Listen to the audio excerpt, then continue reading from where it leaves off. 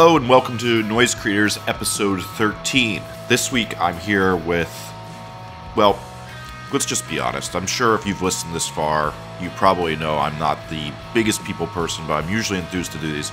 But today I get to talk with somebody who I truly actually love and enjoy as a friend, my buddy Pat Noon. Pat Noon is a Bayville, New Jersey, which is South Jersey for those of you who are lucky enough to be illiterate from that hellhole, uh, producer. And Pat does amazing work. What is nice about being friends with Pat is when I listen to his work, I go, I would never do that band that way, but the way he's doing it is absolutely incredible. I think Pat's one of the best up and coming producers there is out there. He gets a really realistic performance from bands that I really just appreciate. It doesn't sound like a computer ever made his record, it sounds like a band made his record. You may know these records. He's worked with groups like Brick and Mortar, The Front Bottoms, River City Extension, and Pat is just an awesome dude. You should go to his Noise Creators profile and get to know him. Check out his Spotify playlist, read his bio, check out his credits, and just get to know this awesome, awesome dude by listening to this podcast. I think we had a killer conversation, so check it out. Hey, one second before we get started with this interview. Noise Creators is able to do these cool podcasts because we're a service and we're trying to get the word out about our service to people. So if you enjoy this podcast, it's really, really important that you share it to people so more people can get to know what we're doing trying to connect musicians with producers to make better music and make better records for you all to listen to. So please, please, please help us out. If you like this and like what we're doing, share it, tweet it, Facebook it, Instagram it, Tumble it, whatever you like to do, do that. As well, we're going to start doing a really cool thing. If there's a great quote from these podcasts that you really enjoy, put it on a graphic, tweet it, Facebook it, take a picture of it, and send it to us at Noise Creators on every single one of the social networks. And what we're going to do is we're going to share the best ones. And if you're one of the best ones, we're going to send you a list of prizes we have. We have a bunch of cool, rare things from bands that aren't as much of a use to us. We have a couple of extras of rare pressings of vinyl, all sorts of cool stuff. You can choose from a list, and we'll send that out to you for free if you share a really cool quote that we like and we use. Thanks so much for helping out, and please, please, please help us spread the word on our service. Thanks. So, what's the chain you're using to record your voice today? The BAE 1073. Trying to look as I do it into. I kind of stay with the distressor. Yeah. Pretty much straight in, uh, straight into Pro Tools. What's the mic? The Flea 47. Oh, nice. And you have a Lawson 47 too, right? Yeah, a pair of Lawsons and then the Flea. The Flea kind of just blows them away. Really? I did Yeah. not know that. Yeah. Because you were stoked on your Lawson when you first got it. Yeah, I thought it sounded great, and then, I mean, I guess it's it's really not a night and day kind of thing, but it the flea's definitely the low end is a lot better. The it's just smoother all around. Just sounds like a fuller mic. I got to get a 47. It's like real dark, and so it works for it works for the stuff today. But yeah, sometimes it gets a little dark. So, but it takes EQ well. So tell me about your background in music. It's probably like 14 or something like that. I started playing guitar, just doing like shitty pop punk stuff, and then started started recording like crappy demos on like uh, you know the the, the Tascam four track, like the cassette four thing, and then kind of went you know record our own band, and then record my friends' bands, and then just kept playing in bands and stuff like that, and then got sick of booking shows and moving gear and stuff like that, and I was just kind of like, well. I could probably make it work with the recording. I know it seemed to have not that it was a profitable business at the time, but to me it seemed a lot more interesting than you know playing venues to six people and It definitely is more appealing. so at this point i just kind of noodle around on guitar and stuff like that but i don't really play anymore so tell me about the transition from those. So you're like doing the band, and like when does it become clear to you that you're going to be a producer? well i always just kind of did it trying to figure out how to really do it for years and then uh, i think i it didn't really hit me to like oh I, I can do stuff that that i think really sounds good until a few years in really um, but it really was after the first my first band's full length it was like the first full length it was i think the first project i ever fully did on pro tools too where i don't think it sounded great but i was like oh i can I can make like a, a full length happen. Like I can figure out how to pull it all together and and make it all work. And so you, you were talking about g- guitar. Is that the only instrument you play? No, I can play bass. I can kind of noodle around. Uh, I guess enough on piano to sort of show an idea or something like that. But but that's about it. I used to play trumpet. Oh yeah. I used to I play trumpet. Yeah. so, so Um, I should also say for the background for listeners, you and I have been friends for I think it's like getting close to ten years now, like eight, ten years, something in that area. yeah, yeah. It was probably probably 05 or yeah. So it's been like Oh, wow. So when these answers sound familiar to me, the listener should know it's because we've talked extensively over the years and we're good friends. Um, when you have your own studio, eight sixteen, can you tell us a little bit about that? Yeah, we got so there's there's six rooms. Uh, it's it's a rehearsal and recording studio. So, um, but every room can be recorded out of. So there's a main control room, then the main tracking room, then there's a another room that could be used for drums. There's a editing mixing sort of room in the front, and then another room where we do a lot of the hip hop stuff with another live room attached to that. So it kind of just depends on the project and depends on what we're doing. You know, is what room is used for what, or if it's a full band that sometimes we get some some jazzy stuff that you know they have to do it all live. The, the guys kind of just aren't used to headphones, so if everything's got to be separated, stuff can get put in different rooms and not have to worry about bleed or any of that. I mean, really, this place was has been here since '98, and it was always just like a rehearsal studio. What's up? Yeah, so so somebody else built this initially, and then you've just been adding on to it. Yeah, and sort of tweaking it. Like it was always a rehearsal studio that could like kind of make you a crappy demo. Was kind of like always their thing, and then you know been trying to just turn that around for the past. This is the start of the fourth year already. Wow, that time at this flies, man. Jeez. Feel old. so tell me about something that makes your studio unique. Actually, I- I think it's probably the rehearsal side of it, really, because to me, I don't want to own a rehearsal studio. I don't want to uh, sell accessories and stuff like strings and sticks like we do, but I just happen to have it, and that just happens to pay the bills. So, as far as recording, I can for for bands that I think are good bands or they're they're working hard or people like them, they have potential. I can I don't have to like stare at a clock and and whatever. I can always help those bands out, do records for cheaper or something like that, and so we don't have to worry about time. I think that's some studios that that uh you know charge a ton of money and stuff like that. Bands are sort of like, oh, that would be a cool idea if we did whatever with the guitar tone, but like you know they're kind of looking at their watch. That's going to cost me three hundred bucks. So I can kind of uh, make it so the bands don't really have to worry about that stuff. It's really just about making making a, a great album. That's uh, th- th- that's a good approach, and I think that's an interesting thing too. That like you're able to have more of a passion project because you have this thing that's supporting you on the side. Yeah, like, and I I don't think I've ever gotten paid what I would say I like to get paid to do a record. but I guess that's probably all of us. So Yeah, I, well, you know, it's really funny because I can't say that is everyone. Like, you know, doing this, like, there is some people who are really diligent about, like, I'm going to only do the hours I'm paid for. And then there are those of us who go and just are going to do every hour until the thing is right. yeah, like I can't like I'll lose sleep on shit or something like that. Like I just I'm doing mix changes today on on some some album that like I gave him a flat rate for mixing and it's just I've gone way over it and I just can't like like I'll come back down in the studio at like twelve thirty at night and be like ah I gotta I gotta fix that and resend it to him. That is the uh, torture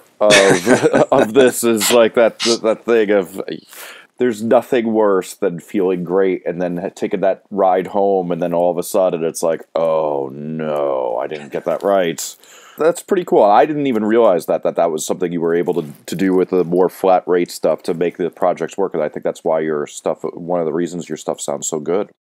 Yeah, to me, it's like uh, time is way more important than, than anything else. Like, I'd rather have you know two days with a fifty-seven or something, and a, and a and then like you know an hour of renting the sickest gear and the you know whatever. Just the extra time to, to make it work is is always the most important to me. I I am hundred percent with you, and I think that that's one of the the things that bands miss a lot of time when they're making records is they think if they're just in the sickest studio with the coolest looking window and the nice polished wood, that's going to make it work. When really, it's like time and consideration goes a lot farther than Yeah, I love I quote that all the time. From, Yeah. I guess it was it was in your book, right? I, I mean, I definitely, yeah, yeah. That was a blog post, and then it went in the book. But yeah, it really is. Yeah, I've had the the second band second band this month that came from a studio that was like like that and they just didn't have time and started really running out of money and and then just came to me with the files to like fix it up and finish it and mix it Yeah, I mean, it, it, it's just that thing, and I think sadly that is just like one of those rookie mistakes, and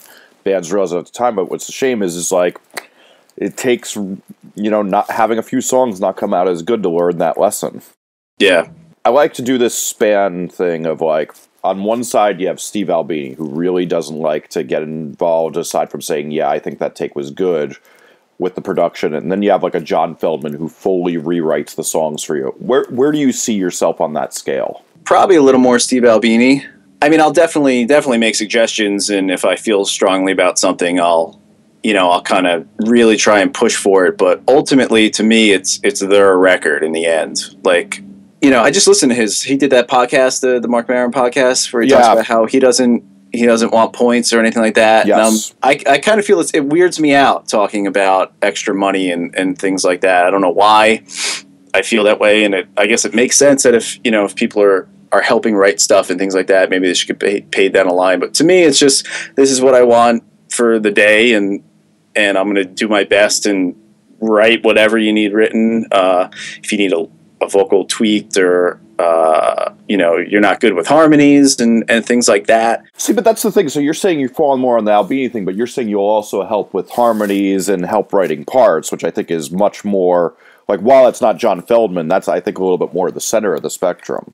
Yeah, like I'll yeah yeah I guess you're right. And then uh, you know as far as like uh, uh, maybe you know that lyric you could probably have a better a better way to say that or, or things like that. You know, or different different lead parts. Maybe if you change change this note or something. like that. So I'll definitely like I'll definitely say stuff. But as far as a total rewrite and you know really like totally take a song apart and put it back together, that's not really that's not really my thing. Yeah, I, So I guess it's a little more in the so middle. yeah, you're yeah. I, I I I like to think of that as like the middle of the spectrum. Is that like you can do the harmony work if you want. You can help write a drum fill if somebody's not getting it, or a guitar part, something like that. If it's not working, you can help rewrite it. Yeah. obviously every record is different but what would you say like if you interviewed the last 20 bands you worked with they would say you bring to a record most often I would hope they think that, or they would say, or I think that most people that I've worked with would say that I'm extremely honest about things, uh, of whether I like their part or not, whether I think it's good enough or not, or you know, because you hear a lot of stories about people who they've recorded with someone and dude just sits there, presses record, and just like, ah, it's your record. Uh, I just can't.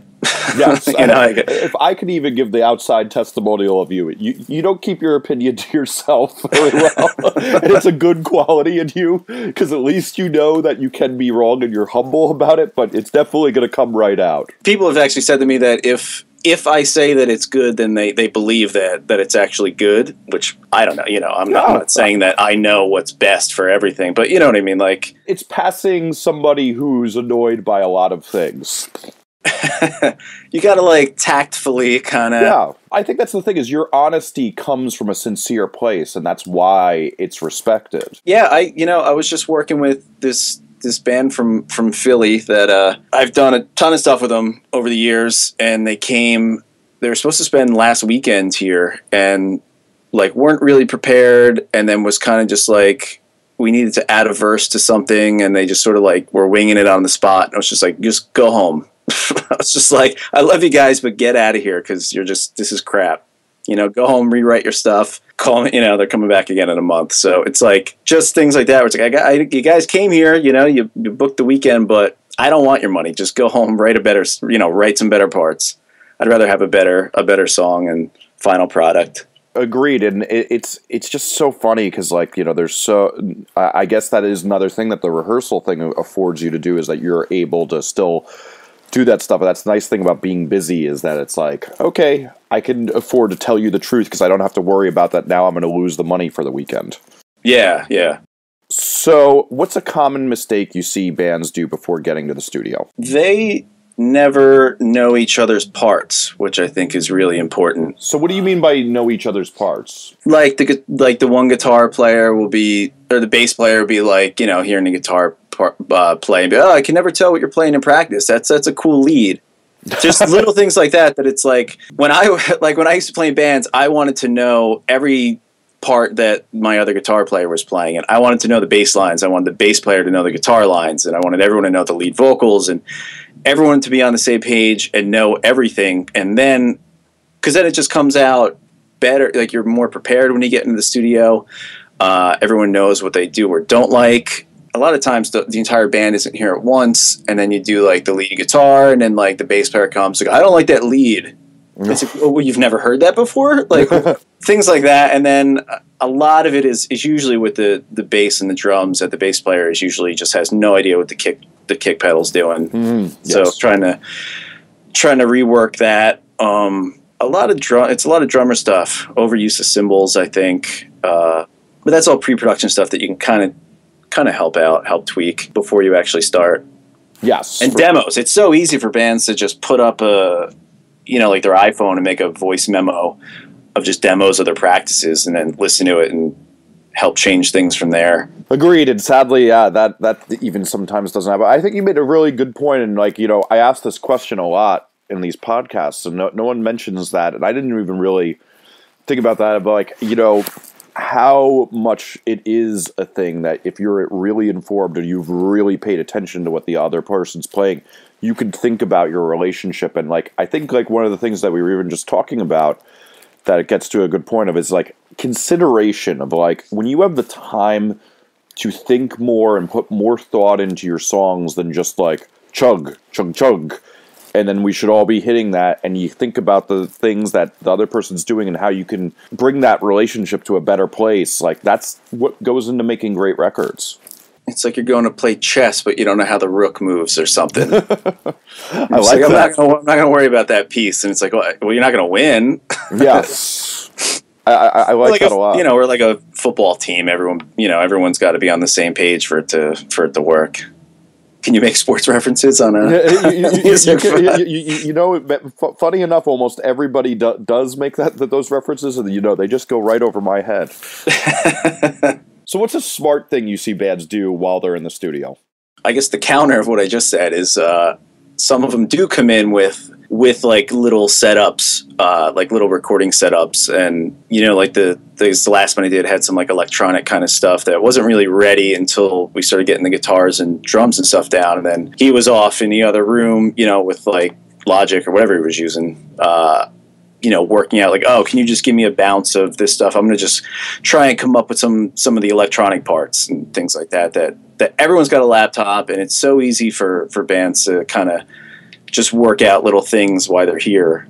You know, if I'm doing a vocal and it's like once the vocal's done, you know, maybe we'll do some some more leads or something like that. Which go in the other room and you know work work that stuff out. A lot of them kind of have little setups too that they can do that on the side as we're doing some other parts.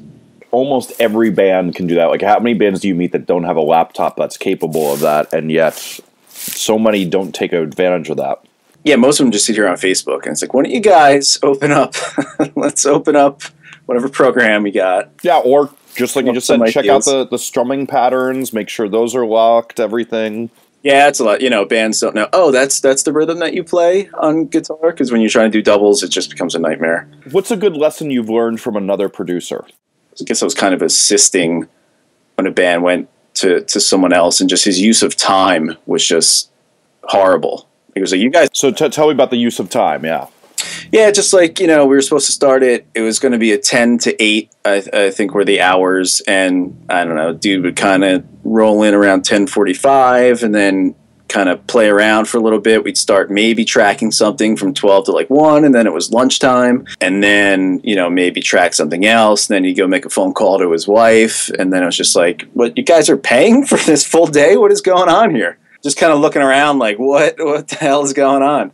like I kind of never stop. I'll eat as we're tracking. Uh, you know, Yeah, you and I, you and I do that same thing. Is it's it's uh, e- eating at the desk while we're still going and giving an instruction with a mouthful of food sometimes. and he was a pretty, you know, pretty well known dude. So I learned how to. I learned that I need to work harder uh, more efficiently. I guess is uh, I don't know. Well, I think there's a, it's a funny thing is is like there's a lot of producers that think like, wow, you know, we have ten hours today. That's plenty of time to waste, and the rest. There's a lot of us who are like, wow, we have ten hours. That's not enough time to get done what's in the day, and Yeah. you know, uh, that that that is a very big fundamental difference in how you run your day. Yeah, especially when you're booking by the day. You know, if, if you're having bands pay day rates, then it's like you know, if you say it's a ten hour day, I mean, to to me, it usually winds up being eleven or 12 Uh, yeah, learn you know that you have to just go that extra. You know, because they weren't happy with the product, so I kind of learned that you have to go, you have to go above and beyond for everyone all the time. You know, you got to. The Beatles started as a shitty nobody band, you know. Uh-huh. So like, who knows? So maybe he didn't treat this band as, uh, you know, he's like, oh, whatever. I don't. I do bigger stuff than this. Who needs these guys? And that attitude of like, you have to treat every band like they're the biggest band. I, I you know, I, I think one of the fun, best lessons of that of my career, I always say is like most of the bands that have done really well, like some I know, like it's pretty obvious, but a lot of them, like the the only top forty record I ever worked on, uh, I was like, this is never going anywhere, but I still gave it my all, even though I thought. 15 kids in their college dorm would hear it, and instead it was on top 40 radio. Yeah, you never know. It's crazy. and, and it's just that thing of like if you do that it's like then you're sitting there thinking about like oh i really wish i did a better job on that thing and this thing and that thing and like i always think about um like brand new with Deja Entendu talks about that like how th- they went around trashing how bad the production job was on that record and how much they hated it. And it's like god that's got to be like so bad that like a band still is successful and yet you know they're slagging the producer everywhere they go. Like, Yeah. that's not what that, that's not what you want to have happen with your breakout record. Yeah, no. Yeah, you never know. Like you might do something that you think is whatever, and then seven years later, the band is like, "Oh, people like these guys," yeah, yeah, and that's when you start putting their name on your website and stuff. Like, "Oh, you know what I did?" yeah. That that that that is a funny one too. or you never know. You know, there's someone who's going to be wind. He's going to wind up on some some show in a couple months that I did his his album. I don't know, four years ago. Uh huh. And then all of a like- sudden, Yeah, it's like, oh shit, people are gonna people are gonna go back and listen to that. yeah. But you know, so if you sort of slacked on it, or you're just like, ah, whatever, who cares about this thing? It's like it, it's gonna come back to haunt you. I agree. And I think it's also just really important that you take people's dreams seriously because this is somebody's dream. Like 90% of the time. Sometimes they're doing it just to get it done and have have it for themselves, but 90% of the time it, they're dreaming of this being something great that the world is moved by. Yeah, and you're like people take off of work to come to you.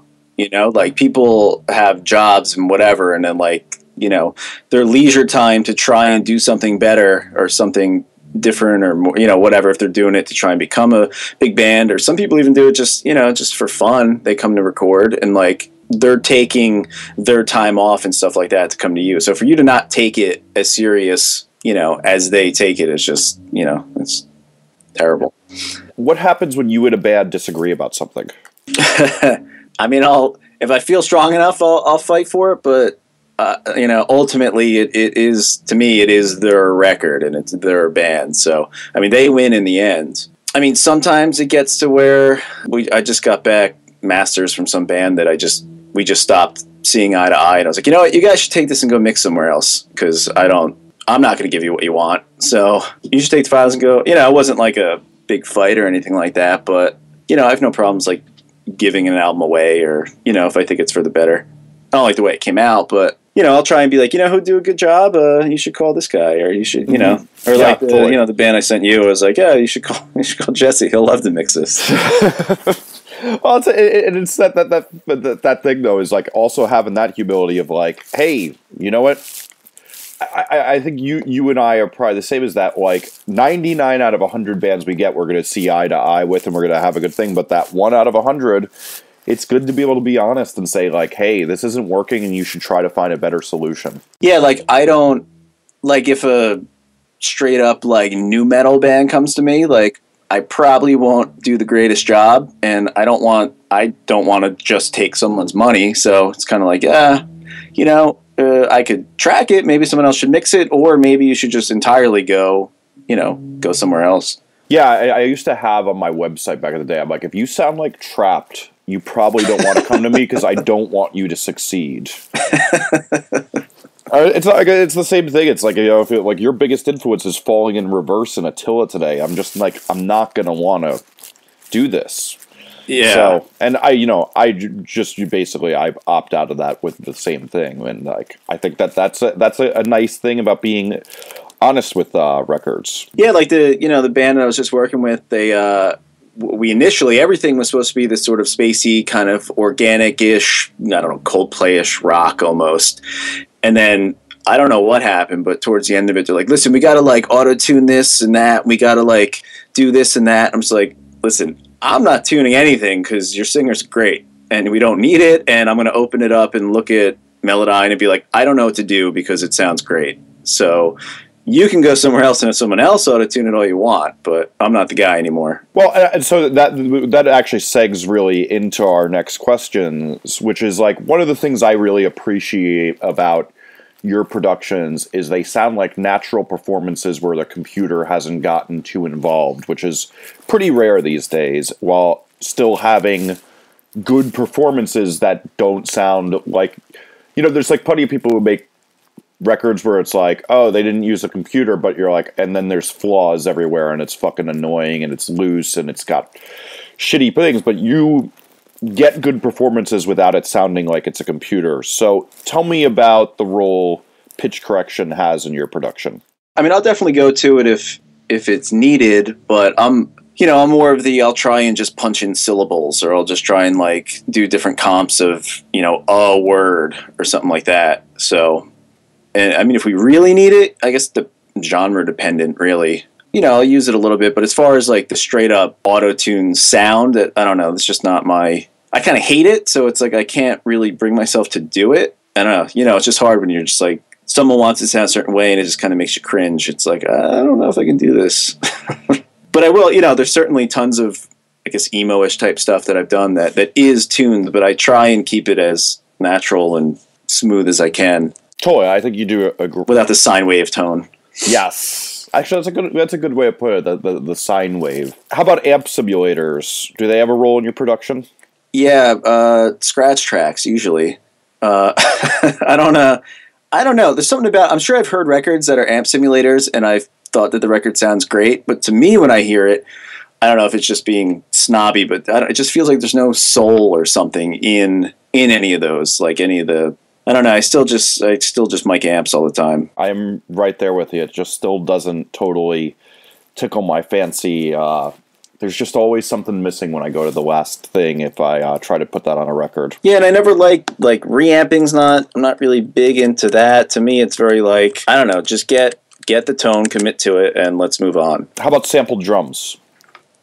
I probably use triggers in, in mostly everything, but it's I try not to have it audible so much. It's more of just like a slight fattening up of something, or if like I don't know for some reason the uh, the hi hat's a little too on the snare mic, I might you know slide a sample in there to kind of be able to to kind of even the balance out a little bit, but. I don't do as far as like the machine gun kick drums and machine gun snares and stuff like that. I, I don't even really know how to do it. Actually, I've tried to do it. and It doesn't it's, come it's, it's, it's funny because the way to do it is just lo- lots of lack of concern about the trigger dynamics. I mean, I've even tried to, you know, have them blaringly loud, and it's just like this just sounds stupid. Where some producer can get it to see like, I still think it kind of sounds stupid, but it sounds like it's supposed to sound for that genre. But I mean, I don't really, I don't really listen to music like that, so it's hard for me to, to kind of do that kind of thing. But I definitely, you know, I'll make triggers of stuff and and slide it in there if, if we need it. You know, Nevermind had triggers on the Yeah. drum. You Uh, can't, you, you know. Well, I think that's that's the funny thing is like Andy Wallace is that great example. Like um, my buddy Alop and I, like we'd always talk about that. Is like he did that interview back then, and like he talked about how like every record Andy Wallace. So like you think of all these classic records that he's at least putting a trigger that goes to the reverb alone to just get the reverb to sound consistent from snare hit to snare hit. Yeah. And so, at, at minimum, that was being done. And, you know, he had his assistant prep it before, obviously, since triggers took a million years back then. But, you know, this is not a new technology. Like, so many people think of triggers like, oh, that started with Pro Tools around 1999. It's like, no, people have been doing that for a lot longer. Yeah, and they kind of you mention it in like the uh, quote purists or whatever they think they are that kind of like cringe at it. You know, you don't know how your some of your favorite records were made, so it's like uh, someone said. You know, when you said amp simulators, it's like for using maybe like you know organ simulators or you know virtual instruments.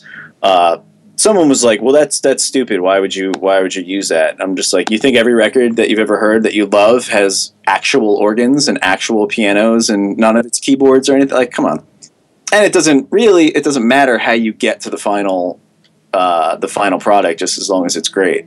You know, my controversial quote is um, that statement: "The end justifies the means." The only time it ever works is in Nazism and making great art. and we all know it didn't turn out so well for Nazism. but it's true for great art. It doesn't matter how you, you get there. It just matters that you got there. Like it really does not fucking matter as long as you're able to make it work. Yeah, it's only a bad idea if it sounds like shit. Yeah. So do you master your own records? No, no. Uh, I feel like the second I touch the master bus, that I have ruined everything. I don't know why. Yeah, and I'd rather I don't know. I'd rather not even have the extra money. f- You know, it's like I know the idea of, of mastering and whatever, and I could work up a pseudo master, but I'd rather just send it off to an actual mastering engineer to so the album comes out better. How long do you like to take to work on a song usually? I guess it's really band band dependent, but usually it's a pretty full day for to track it. Maybe a couple extra hours for some little extra things that maybe need to get redone or added, and then and then it's usually about a half day to mix it. So day start to finish about a day and a half. Yeah, that's that's pretty in line with like what we uh we're, normally we normally hear here. I think you just did uh, touch on something though too that like it's like one of those questions I wanted to work into this podcast. So so what is redoing things? How does that figure into your thing? Like we talk about commitment so much, and like you and I were both on that same page of like you commit to a guitar tone, but you know I, I think one of the biggest production secrets is not being scared to redo things when they're not working. Yeah. So where does that play in your productions? you know, maybe the next day, maybe like as you start hearing the whole album pulled together, it's like, ah, you know, that, that vocal take on the second song just, you know, all the other ones just sound better. I don't know why, just something about it just sounds better. Let's just redo the vocal, you know, something like that. There's no problems in redo. I mean, now, now when you're recording is the time to be picky as opposed to, you know, that extra time you took to redo it. You're not going to remember that like three years later when you go back and listen to the album. Yes, that that's a that's actually a great point. Uh, is that I think so many bands don't have it in their head. They have it in their head their now instead of their later, and the later of making a record and being happy with it is so much more important than the now of the pain of doing something. Oh yeah, yeah. You don't want to go back to something, how, you know, however long, and be like, ugh, we should have taken that extra twenty minutes, and you know, Punched in that that that vo- vocal part where you sound like a uh, big bird honking over uh, the bridge. yeah. you know, sometimes you just miss. You know, sometimes you just miss it. You're just like, ah, that take was great, and then I don't know. The next day, you're like, wait a minute, was it? Was it great? But most of the time, you just got to trust your instinct and and go with it. Agreed. So so tell us about one of the best moments you've had in the studio. Um, one of the best. Let's see. Uh, it might have been that that River City record when I remember talking to you when uh, I was like, "Oh, this is terrible. I got to live out in this house for a month." We we uh, Yeah, so set, so set set up what you what you guys did for this last River City extension record.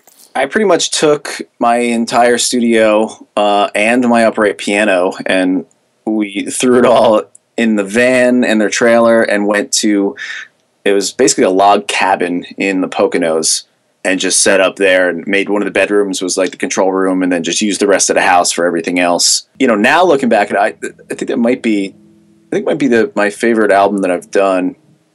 Too bad no one liked, no one bought it, but. Uh, but going back and thinking about it now, it's like the the control room. Like there was this huge like like window looking out into like uh, I don't even know what you call like these rolling hills up in the Poconos, and it's like we were there for so long that like it was from spring into summer, I guess. So you could see like the the leaves were like coming out throughout the record and stuff like that. And it's just I don't know. And for some reason, the, the main living room just sounded great as a drum room. It had these like uh like cedar plank like all around the whole the whole room, and it was just cool. Just being all you did was like there was nothing out there. You just woke up and you worked, and everything was just about the album. You know, for three three weeks, I think we were out there.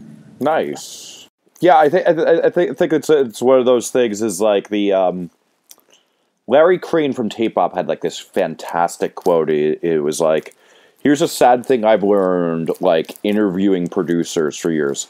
The record that's your favorite one that you think is your best work is also the same as the one that no one hears." and for me, it's totally true. Like the my favorite record I ever produced, it came out nine years after I did the final mix. Jesus. it never got promoted and anything and it was just like it was one of those things it was just like that's how it goes like the only place anybody hears that usually is my uh reel that i ha- like the mix i have from soundcloud on my uh website Oh, it's up there. Huh. yeah like i have like one of the songs on there that's probably the way, way that song's been heard the most so Yeah, it's a shame. that's that's sadly i think how it goes sometimes so tell us about one of the worst moments you've had and what you learned from it I was this was like I guess towards the beginning. I never it was before I would make certain bands. Uh, you know, I guess genre wise, play to a click. Some stuff's not always to a click, but this band definitely should have been, and I, I didn't do it. And so we recorded the tracks, and then a couple days later, the guitar player was supposed to was supposed to come in and, and put some solos, some shredding leads over all over it. And the timing was was pretty messed up, which you know is my job to make sure that that didn't happen. But so he's trying to go back in and put it in, and like things are off time, and he's just playing. He's not even listening to the band. He's just like shredding, and then like just getting madder and madder as he as he's like, uh, you know, I was like, ah, oh, that's you're off with the drums. Like, you want me to turn the drums up? And he's just like.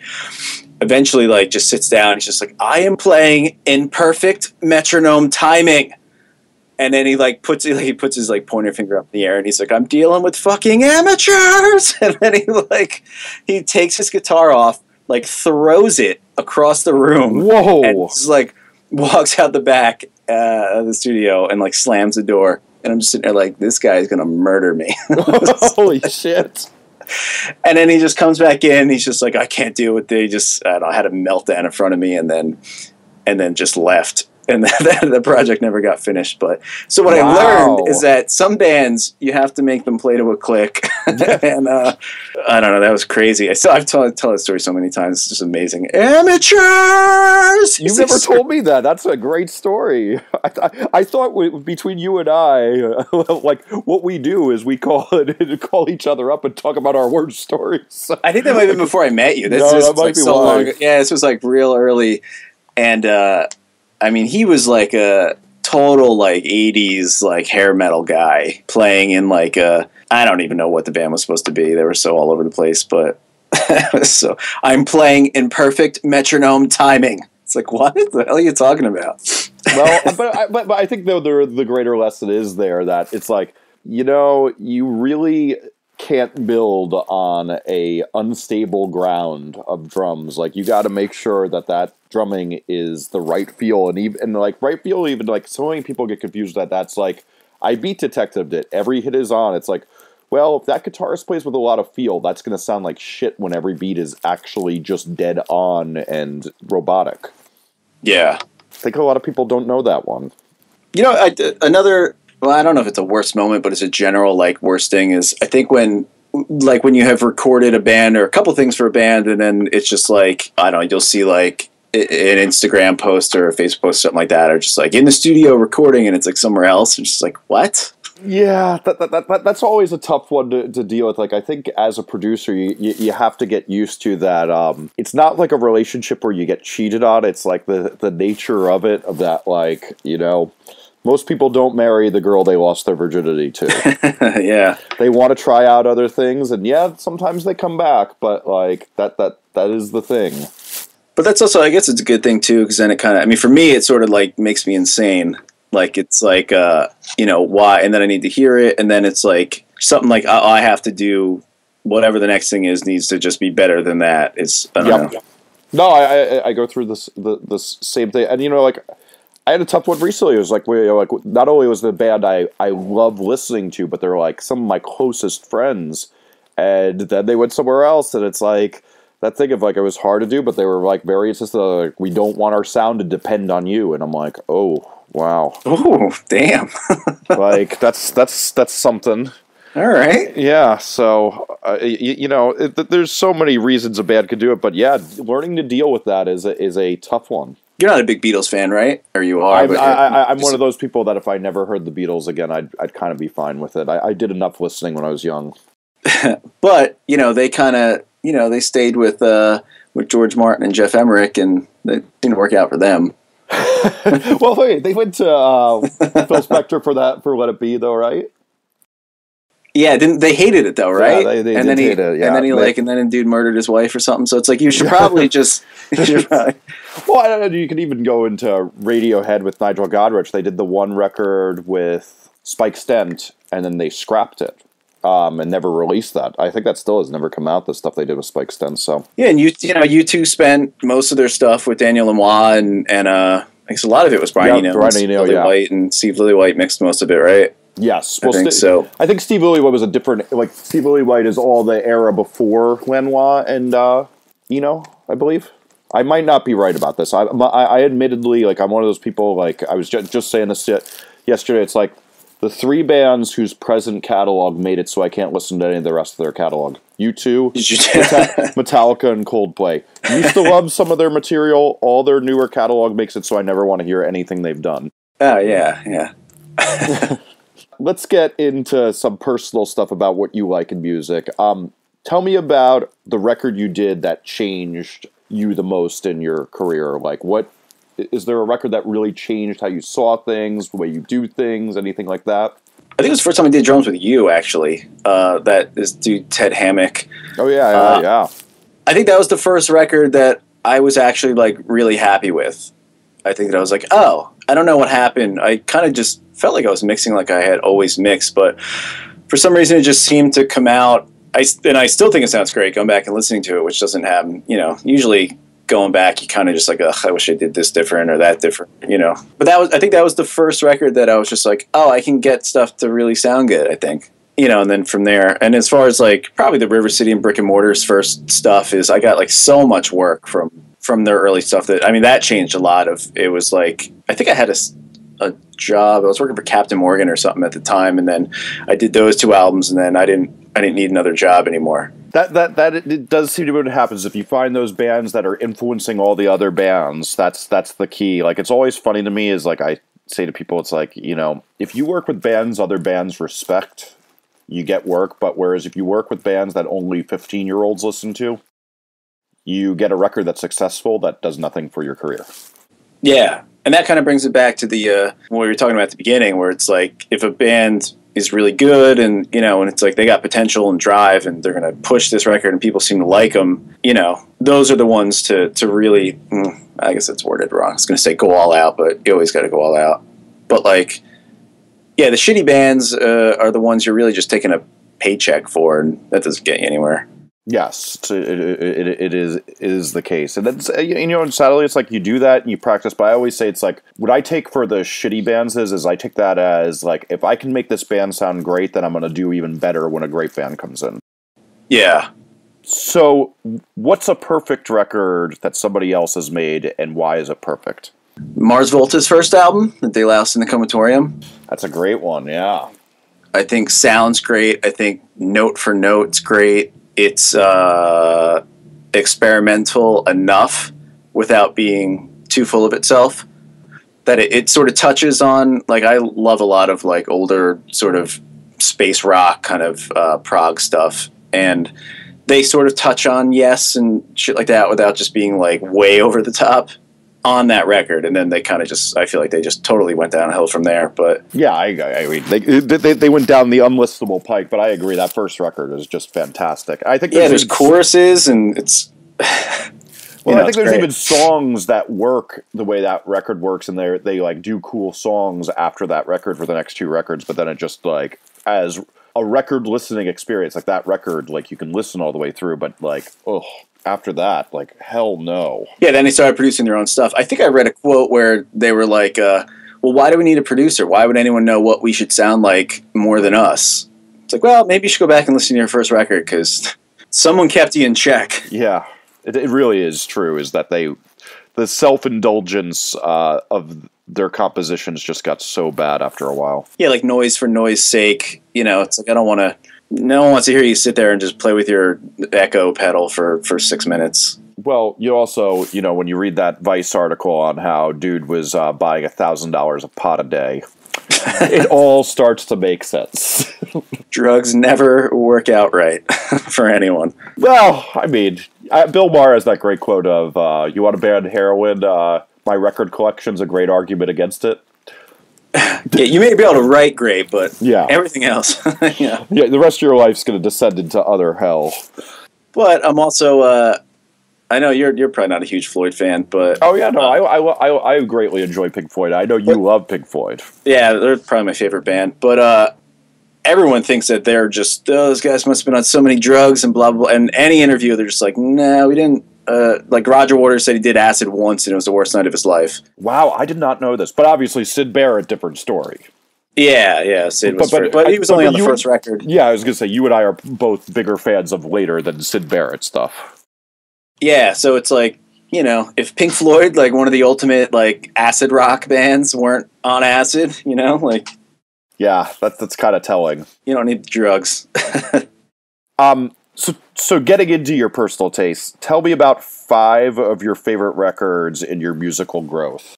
Pink Floyd's "Wish You Were Here." And so, so what did you learn from that record? the the clean tone at the beginning of it is is probably my favorite my favorite clean tone. And David Gilmour is my favorite guitar player, and it's just like he doesn't noodle. It's like every note is melodic and it fits. Where it's like every note and every hit and every everything just seems to be like what it should be. Like there's no It's it's, it's considered. Is what what I've been liking to say these days.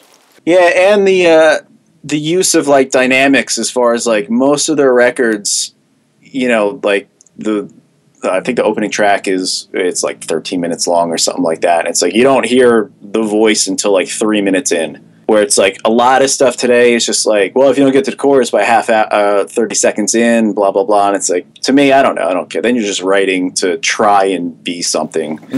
The statistics is today that the vocal on the average top ten song enters within four seconds on a pop song.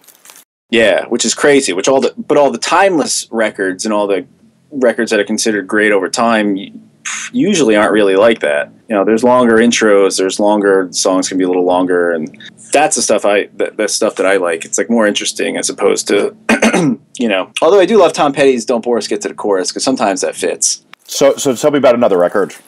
U2's Achtung Baby. So it's another one of the most interesting listens. You know what? I and I I always just say it, but I don't know if I'm just just pulling this out of my ass. But was was there guitar tones like that before Achtung Baby, or was Edge? I know there was effects pedals. Everyone had effects pedals, but was that the first record that guitar? It's like that's a fucking guitar. So I think that there was like this thing that like Eno, oddly enough, like Steve Vai, who's still the thing, but like there's kind of this thing. There's the Eno and the Zappa camp. I want to say those were the people who are like getting into that Eventide harmonizer, which I think is a lot of that record. Like so, then you also have like what Eno did with like uh, David Byrne on My Life in the Bush of Ghosts and all that stuff. All that is where like the kind of real experimental guitar stuff I think came. and Robert Fripp, obviously, with Bowie and stuff like that. That's where I think that was all coming from. But that's all Eno lineage or Zappa people. Like really, that's where I think you got a lot of that stuff from. King Crimson's influence, stuff like that. Yeah, and well, and another thing that's to me that's really impressive about that record is the prior to that their proper studio record was Joshua Tree. So a complete 180 of the sound of a band like Joshua Tree and Achtung Baby are like night and day different like styles, and they became even bigger, which is you know it's like so to me it's like well don't be afraid to do something different or have longer parts or you know do something out of the norm because it, it works you know it can work Well, you you know you, you know now that I think about it too, Achtung Baby is a post Pretty Hate Machine record. So I think that there's while Achtung Baby is a much more polished record, Nine Inch Nails definitely had an influence on everybody, and everyone who heard that was like, okay, this is something. Yeah, some of those synthy like the guitars are almost synths at some parts. Yeah, and it's the same thing. It's the using the DSP Eventide DSP four thousand and the H three thousand um, that they had the guitar versions of that. That is just those two records to a T. That is the trick. Yeah. So what else? Sigur Ros's Takk album. Oh yeah, no, it's a great record. Uh, love that. Kid A, Radiohead. Yoshimi Battles Pink Robots. Another great one. Uh, the production on the, the drums on that are, are incredible. Yeah. Well, it's like funny, like you know, like if you like the soft bulletin's a little bit more of the AM pop one, and then that one gets into like they started listening to like Warp Records stuff and like got a little more wild with the like electronics. I think that was a good meeting of their pop thing versus their progressive thing. Yeah, I feel like you could tell that it seemed like the next record is, you know, from Soft Bulletin. It was like the next record I think is going to be the one. And to me, then the, you know, then it was Yoshimi, which is kind of like uh, Pink Floyd's Metal record. It's like you kind of felt like the next one is going to be the the one. Then it was Dark Side. So sometimes you can kind of tell with bands that it's like Yeah, they're about to be onto something. Yeah, and then I guess more like folky stuff. I think "Chutes Too Narrow" by the Shins is where I don't really, I'm not the biggest fan of how it sounds. It's just one of my favorite records. You know, it's funny, like, because like, isn't that the thing? Like, so Phil Ek mixed it, but like the dude had like a really cheap home computer setup, and that's where a lot of those tones come from. Is that he was using some shitty? I want to say he was using like Acid or SoundForge or something for a lot of those keyboards, if I remember how it went. And then Phil Ek would have to make them sound good, despite them coming from a Sound Blaster 16 card. But the songs were great, and you know they, I guess right after that they got huge. Right after that, Oh yeah, yeah. I mean, I mean that record even was pretty big, but yeah, they they got monumental. So, what's your favorite record that's come out recently, and what inspires you about it? maybe uh, the the new. I don't know how how new it is. Maybe the past year. I guess the War on Drugs record. I, I Okay. think is really great. I have not not heard much of it past uh, hearing it come on the radio on my dad's Sirius. I, I, I have animosity to that guy because he dates Krysten Ritter, and I'm jealous. So, it's you know what it's it's like they kind of just sound like to me they sound kind of like dire straits but like i don't know i like the track one is like nine minutes long and it's like to me that's that's great for for an album to come out today to have it like a nine minute opening track and i think it kind of rocks i think it's great nice. So, tell us what you've been working on lately. just started the new brick and mortar album Awesome. Uh, so that's an LP. yeah it'll be a full length i'm not sure exactly how many songs yet but you know it's at, at least 10 10 or 12 somewhere in there Oh, I've been doing. Uh, uh, I guess it's been the past four years. This dude's been recording. Oh my god, I want to say it's probably like seventy-five songs or something like that so far. he's working on an audio book that's fourteen hours. It's fourteen hours long. Holy shit! It's uh, an autobi- an autobiography. Uh, the dude's like a, a recovering like paranoid schizophrenic who's like real open about his you know his descent i guess into it and like figuring out like when he learned what was wrong with him and and getting treatment and then like how to cope with it. And uh, he's got these crazy like really funny stories but like super insane. So the music that we've been doing the past four years is like underneath the entire audiobook. And he's he narrates he narrates the entire thing. And there's a couple other couple of songs we got to do. I have someone like arranging like for like a 12 I guess it's a 12 piece, I think. One, I don't know if that's it's not considered an orchestra, or maybe it is considered an orchestra at that point. But he's like an arranger arranging some of the songs for for strings and piano and and like oboe and shit. It's crazy. Wow, that sounds pretty cool. But this dude, I don't. I think like in the world of paranoid schizophrenics, he's like well known. Hmm. I didn't know there was a world of paranoid schizophrenics, but that's Yeah, like, interesting. like I don't know whatever the magazine would be. It's not like Schizophrenics Monthly or you know whatever it would be. But he's like he, like doctors have used him. I forget the percentage, but it's like I want to say like five percent of people who are paranoid schizophrenics like actually come out of it and can live a normal life, and the rest of them just wind up like talking to walls and shit like mm-hmm. that. Yeah, yeah, yeah. that So it's sounds right. crazy to hear his stories and his he wrote it's like a 400 page book and it's like it's really funny and really good and it should be Hmm. done by the new year actually Kick Jan- ass. January or something like that and then then what he does with it I don't know maybe he'll try and get on Ellen or something but Seems like a compelling, good story. but it's been a hell of a hell of a project and it's, it's, it's gonna be great Cool, dude. Well, thank you so much for doing this. That's all we got. Cool.